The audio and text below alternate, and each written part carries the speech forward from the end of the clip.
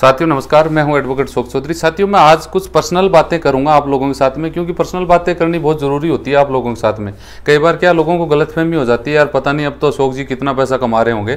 तो मैं बता दूँ, मैंने एक पंद्रह दिन पहले एक वीडियो डाला था कि मैंने लोगों के अभी फ़ीस लेना अपन स्टार्ट करेंगे, क्योंकि फ़ीस लेनी ज़रूरी है, क्योंकि अनलिमिटेड कॉल आते हैं और सिस्टम ऐसा बनाएँगे ताकि उसमें कुछ सुधार हो सके। तो वीडियो डाला था, उसमें साथियों कुछ रिज़ल्ट नहीं आया। रिज़ल्ट इसलिए नहीं आया क्योंकि वो वीडियो तो कुछ लोगों ने देखा, जैसे दो चार पाँच हज़ार लोगों ने देख लिया। वो तो उनको तो समझ में आ गई तो वो उन्होंने कॉल नहीं किए। लेकिन वही बात है, सब वो वीडियो देखते नहीं, वरना फिर वो कॉल पे कॉल सिस्टम वही है। पंद्रह दिन में मैंने ग्यारह सौ रुपये, मैंने ये बताया था कि अपन ग्यारह सौ रुपये फ़ीस लेंगे। इससे मैंने कितने पैसे, अब तक लोगों ने कितने पैसे मुझे दिए, कितने लोगों ने की मैंने हेल्प की, ठीक है? इससे रिलेटेड मैं कुछ बातें शेयर करूँगा आप लोगों के साथ में। साथियों, मैं बता दूँ, कम से कम मुझे अंदाज है, मैंने अंदाज ही बता रहा हूँ मैं 700 लोगों को मैंने मैसेज कौन से किए जिन्होंने मेरे से रिक्वायरमेंट थी उनकी कि मेरे को सर वीज़ा चेक करवाना है, मेरे को ऑफ़र लेटर चेक करवाना है, सर मेरा पासपोर्ट वहाँ फंसा पड़ा है, सर मेरा एजेंट वो पैसे लेके भाग गया, सर कनेडा के नाम से मैंने इतने पैसे दे दिए, ये मेडिकल हो गया, वो हो गया इमिग्रेशन वगैरह वगैरह समस्या है ठीक है तो मैंने उनको ये आपको पता है, मैंने बोला था, मैंने उनको मैसेज एक छोड़ दिया कि भाई अगर आपको इस समस्या से समाधान चाहते हैं तो मेरी आप फ़ीस दीजिए लीगल एडवाइस की, और बाकी आप मेरे से जो भी आपकी हेल्प होगी, मैं आपकी कर दूँगा। तो इसका साथियों असर ये हुआ कि लगभग 700 लोग वो थे, मैं बता दूँ, जैसे मान लो 100 परसेंट कॉल लोगों के थे। ठीक है? उसमें से लगभग तो हाय, हेलो, सर जी, मुझे विदेश जाना ये, वो, उनको तो मैसेज करने का कोई मतलब था। जिनको 100 परसेंट नीड है कि अगर मैं, मेरे से वो इंक्वायरी ले लेते हैं तो हो सकता है कहीं ना कहीं उनको फ़ायदा हो जाए। चाहे वो पैसों में हो, चाहे वो फंसने में हो, चाहे उनका पासपोर्ट वगैरह किसी भी तरीके से। वो लोग सात सौ हैं जिनको ज़रूरी थी, उन्हीं को मैसेज किया, बाकी सबको नहीं किया, ऐसे मैसेज कॉल आए, सबको मैसेज करते रहे, ऐसा कुछ नहीं था। सात सौ लोगों को मैंने मैसेज किया। तो मैं खुश तो हालाँकि इस बात से हूँ, कोई नहीं, पैसा मत दो, कोई दिक्कत नहीं है, जिनको ज़रूरत होगी वो देगा। खुश मैं इसलिए हूँ कि 700 लोगों में से मात्र मुझे तीन लोगों ने फ़ीस जमा करवाई। ठीक है? तीन लोगों ने पैसा दिया। इसका मतलब आपके हिसाब से क्या होना चाहिए? यानी सत्तानवे परसेंट फ़ोन फेक। यानी इनको ज़रूरत नहीं थी इसका मतलब ये हो गया कि फ़ीस नहीं देना चाहते, यानी फ्री फोकट में एडवाइस लेना चाहते हैं। इनको ज़रूरत नहीं थी कि कोई नहीं, अगर एडवाइस मिल जाएगी तो अच्छी बात है, नहीं मिलेगी तो अच्छी बात है। कई लोगों के तो इतने सीरियस कमेंट थे, सर जी, मेरा एजेंट लाख रुपए खा गया, सर जी, ये हो गया, वो हो गया। लेकिन जैसे मैंने ये बोला, सर, मेरी फ़ीस आपको ग्यारह सौ देनी होगी। उसके बाद उस बंदे का फ़ोन मैसेज दोबारा नहीं आया। और अगर उसके व्हाट्सअप स्टेटस में देखें तो कम से कम 20 30 50 मैसेज आए पड़े थे। जैसे मैंने ग्यारह सौ रुपये का मैसेज उसको डाला उसके बाद उसका हाई हेलो आना बंद हो गया। तो शुक्र, अच्छी बात यह है कि ये 700 लोग ब्लॉक हो गए। ये मुझे लाइव जब तक कॉल नहीं करेंगे, जब तक वो मुझे फ़ीस नहीं देते, यानी उनको जो फ्री की एडवाइस लेनी थी वो नहीं मिल पाएगी तो ये मुझे कम से कम परेशान, मैं तो नहीं होऊँगा ना इनके व्हाट्सअप से, इनको चेक करना।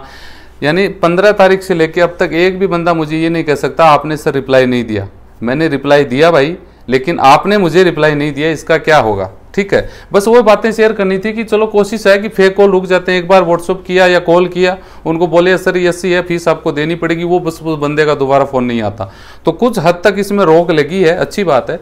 और जिनको ज़रूरत होगी, वो भैया फ़ीस दे के जिनको अगर लगता है कि ग्यारह सौ रुपये में अगर अपने लाख रुपये का फ़ायदा हो रहा है तो वो देगा। ठीक है। कुछ लोगों के नेगेटिव कमेंट सर, आप भिखारी हो? अरे भाई, भिखारी डॉक्टर को बोल के देखो ना, एक बार भिखारी हो। वो कोर्ट में जाते हो, वकील को बोल के देखो ना, कहीं पर जाके देखो, आपसे कोई भी चीज़ का पैसा लिया जाता है, वहाँ बोलो ना कि आप भिखारी हो। समझ रहे हो बात को? वो तो उनकी गलत सोच है, उनकी तो चलो, उनकी जो बात छोड़ दो। वही सर, साथियों, बता दूँ, पंद्रह दिन का रिज़ल्ट है 700 लोगों को मैसेज किए उसमें से तीन लोगों ने मुझे पैसे दिए, उसमें एक बंदे का मुझे श्योरिटी है कि उसका मेरे पास मैसेज आया, बाकी दो लोगों का मेरे पास मैसेज नहीं है। हालाँकि मैंने इनको श्योर उनकी जो भी इंक्वायरी थी, मैंने उनको दे दी। आधा घंटा मुझे समझाने में लगा, वो पूरी तरह से एकदम संतुष्ट थे। उनका जो भी लॉस भुगतान आगे कम से कम उसका लॉस नहीं होगा। ठीक है साथियों, इससे रिलेटेड मेरे को ये बातें बतानी ज़रूरी थी। ठीक है। बस साथियों, इस वीडियो में मेरा मेन मकसद ये होता कहीं आप लोगों को ये लगेगा, यार, पता नहीं लोगों ने कितने पैसे दिए, क्या ये वो? तो भैया, कुछ भी नहीं है। मुझे एक बात तो ये समझ में आ गई हंड्रेड परसेंट और उसमें थोड़ा सा मुझे भी ये हुआ कि कि भाई कॉल उठाते उठाते मेरी हालात ये हो गए कि मुझे कम से कम पिछले सात दिन से मेरा वीडियो नहीं आ रहा है। ठीक है, इसका मेन रीज़न क्या था कि मुझे हो गया था माइग्रेन और माइग्रेन का रीज़न मैं बता दूँ कि ये जो ब्लूटूथ है, इसको इधर कान में लगाने से अगर रेगुलर बंदा आठ घंटे यूज़ लेके 200-300 कॉल अटेंड करता है तो उसके हालात क्या होते हैं? ये रेडिएशन इतना भयंकर होता है, इसमें ब्लूटूथ में मोबाइल में, इतना हिस्सा है, वो डैमेज हो गया। यानी जो माइग्रेन जिनको हुआ ना, उनको पता है कि पूरे 24 घंटे जो माइंड की नसें ना, यूँ करती हैं, यूँ। बंदा नहीं तो खा पाता, नहीं सो पाता, किसी से बात करना भी उनका अच्छा नहीं लगता। संडे सैटरडे दो दिन, चार दिन तो लगातार मैंने कॉल भी अटेंड नहीं कर पाया। इतनी भयंकर दिक्कत हो गई थी मुझे, ठीक है? लेकिन उसके बाद में ये ट्रीटमेंट है। यूएस यूके अमेरिका से ये बन के आता है। इंडिया में अवेलेबल है, इनकी ऑफिसें वगैरह हैं। ये रॉयल जेली है, ये माइग्रेन के लिए इतना बेस्ट है कि पूछो मत। ठीक है साथियों, तेईस सौ रुपये की इसमें साठ टेबलेट आती है, एक महीने चलता है। ये लेने के बाद तीन दिन लगातार ली, तब जाके मेरा माइग्रेन ठीक हुआ। तो मैं तो ये चाहता हूँ कि भैया बहुत अच्छा है। लोग जितना लोग कम करेंगे कॉल मुझे बहुत अच्छा लगेगा यार, ताकि कम से कम जिनको ज़रूरत है वो तो कॉल कर लें। बाकी मुझे नहीं लगता किसी को ज़रूरत है। 700 लोगों को मैंने व्हाट्सअप किए, इस हिसाब से तो यार बहुत पैसा हो जाता फिर। लगभग कितने हो जाते? आठ लाख, साढ़े सात लाख के करीब हो जाता। इतना पैसा तो भैया मैं कहाँ रखूँगा? तीन लोगों ने पैसे दिए मुझे। ये स्थिति है। आप जो, आप लोगों ने मुझे बोला, सर, अच्छी बात है, आप फ़ीस लागू करिए, बहुत अच्छी बात है। कम से कम ये 700 लोग तो मुझे कॉल नहीं करेंगे। और रोज़ को मैं करते रहता हूँ तो ताकि वो दोबारा मुझे तो परेशान नहीं करें, एक बार मैसेज छोड़ते उनका काम खत्म हो जाता है। क्योंकि वो पैसे वो देने वाले नहीं है, उनकी आदत पड़ी है ना फ्री फोकट में।